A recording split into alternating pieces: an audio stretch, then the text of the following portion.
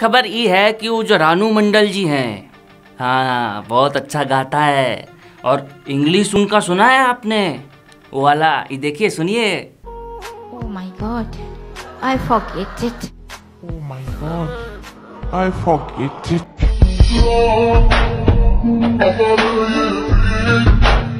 देखिए कितना अच्छा इंग्लिश बोल रहा है ना। तो खबर इन पर ये है कि इन पर बायोपिक बन रहा है।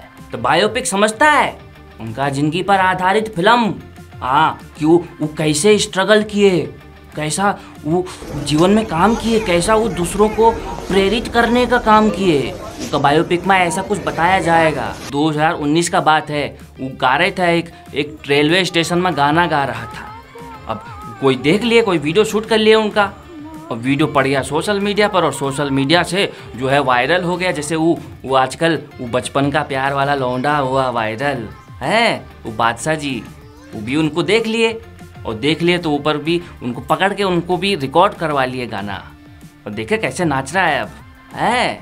तो ये है सोशल मीडिया का पावर तो ई का फ़ायदा वो रानू मंडल जी को मिला, और हिमेश जी की नज़र गई उन पर।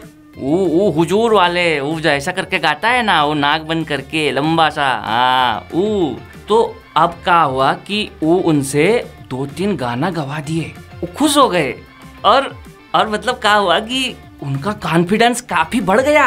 एकदम मतलब टॉप पर चला गया कॉन्फिडेंस अब क्या है ना, कई लोगों को क्या होता है कि सफलता पछता नहीं है। हाँ उनके साथ भी यही हुआ। इंग्लिश बोलने लगा खट खट पट पट झटपट। लोगों से बिल्कुल मतलब एक्सक्यूज मी करके बात करने लग गया। जो ये फ़िल्म का डायरेक्टर है, वो है ऋषिकेश मंडल। इन पर बायोपिक बना रहा है और इसके लिए वो जब कई अभिनेत्रियों के पास गए कि भाई आप मतलब इनका रोल करेगा अधिकतर जो हीरोइन लोग हैं, उन्होंने मना कर दिए कि हम तो नहीं करेंगे भैया।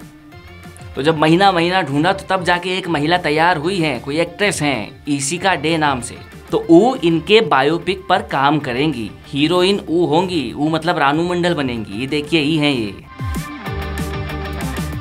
तो आज का जो जो बातचीत है, उसको यहीं पर ख़त्म करते हैं और जल्द आएँगे। कल आएँगे, नहीं तो परसों आएँगे, परसों नहीं है तो अगले दिन आएँगे उसके, हैं? ठीक है? ध्यान रखिए अपना है? नमस्कार।